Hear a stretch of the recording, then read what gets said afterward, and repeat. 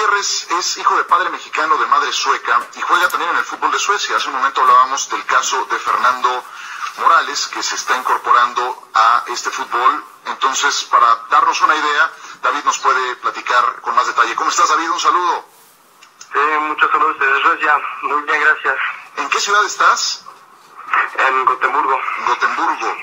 Cuéntanos, ¿cómo es que empezó esta aventura de jugar en Suecia? Nací en Suecia y he vivido, he vivido aquí casi toda mi vida, menos unos años que fuimos a vivir con la familia en México. Y desde el 2006 he ido a un equipo, he, he jugado en un equipo que se llama IFK de Gotemburgo. Y pues desde ahí, ahí estoy jugando ahorita. ¿Y el tiempo que estuviste en México, probaste suerte con algún club? Estuve con, con una filial de Pachuca en Cuernavaca y pues sí, ahí, ahí estuve. Pero fueron por dos años nada más. Por dos años nada más. Entonces, propiamente estás hecho a la cultura sueca, eh, eres, eh, además de que eres sueco por nacimiento, te has eh, criado, has crecido en este país, por lo tanto, estás plenamente adaptado, ¿no? Sí, claro que sí. Perfecto, tú eres también mexicano por nacimiento al ser hijo de padre mexicano. ¿Cómo es jugar en la Liga de Suecia? Pues yo creo que es muy diferente si la comparas con la americana. El juego es más, es más rápido. Este, dan, dan, dan tres, cuatro pases y ya estás en la otra portería. Luego juegan muy, la, a la defensiva siempre están muy bien organizados.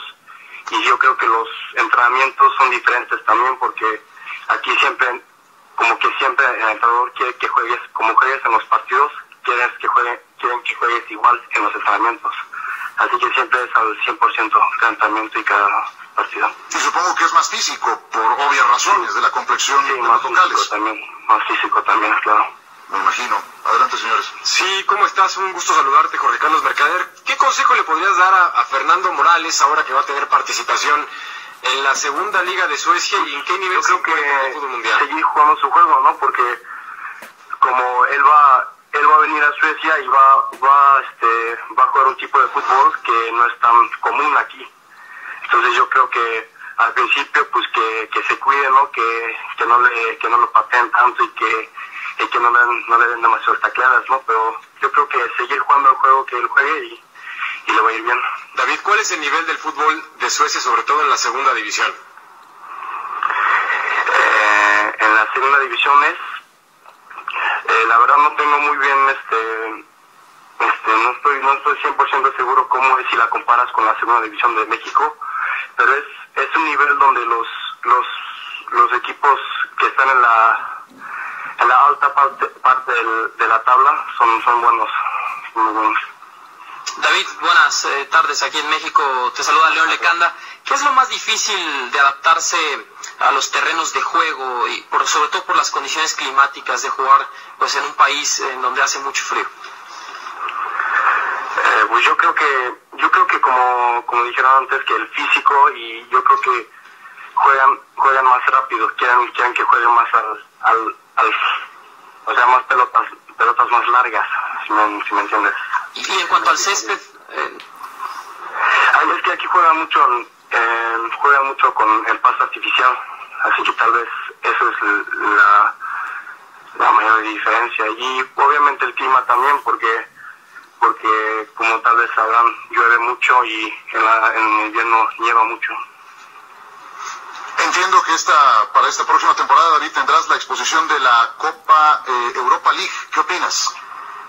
pues es una oportunidad que no que no muchos tienen y voy a hacer voy a dar mi máximo para para que me convoquen a los partidos ¿no? y espero que le vaya bien al equipo ¿Cuáles son tus características, eh, tus principales cualidades? Jugador que, que es rápido, me, me gusta seguir jugando y a la defensiva soy bueno con la cabeza y, y uno y uno contra uno también soy bueno. David, eh, ¿has tenido algún contacto con algún club mexicano? Eh, he visto las filiales y las, este, las instalaciones de Santos, visité el, el este invierno, pero más que eso, no, nada. Perfecto. David, pues eh, muchas gracias por acompañarnos, por darnos eh, parte de, de, tu vivencia de lo que es jugar en la Liga de Suecia, ahora que se presenta una firma de un jugador más como Fernando Morales que va a este país. Recibo un saludo, muchas gracias.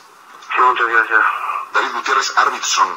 honestamente desconocí su caso, digo, está empezando su carrera apenas, apenas en abril del 2013 estuvo su primer llamado al primer equipo en la Copa Suecia, y es propiamente eh, un sueco criado en ese país, y parte de lo que tendrá que enfrentar Fernando Morales en una liga tan diferente, tan ajena a lo que es el fútbol mexicano. Sí, nos, nos daba algunos indicios de lo que es el fútbol allá, pues eh, canchas artificiales, eh, bueno, mucho frío, siempre ha sido un fútbol muy físico, el sueco, normalmente aéreo, vertical,